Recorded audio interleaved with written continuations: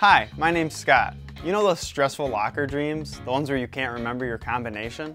While there's nothing I can do to eliminate those dreams, I can tell you that you won't have to stay up at night worrying about assigning lockers at your school. We've got you covered. Your first step is to identify the lock make and brand. Click on the Office tab at the top of your screen.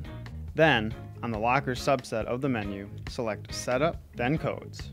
On the following screen, click Lock Makes.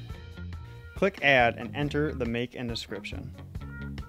Next, you'll enter individual locks. Back on the code screen, select Lock Codes. Click Add and enter the lock information, then save.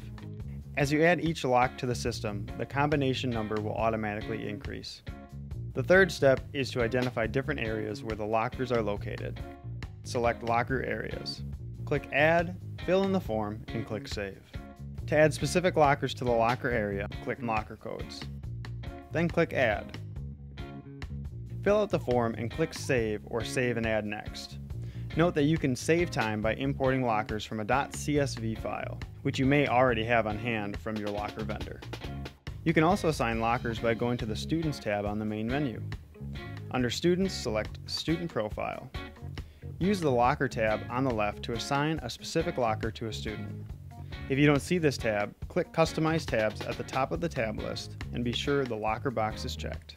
Say you need to overhaul your locker arrangements due to construction, for instance. You can use the Mass Assign, Unassigned features. Click the Setup button to the right of the lockers. Then select Utilities from the drop-down. Here you'll find the tools for making mass changes to your assignments.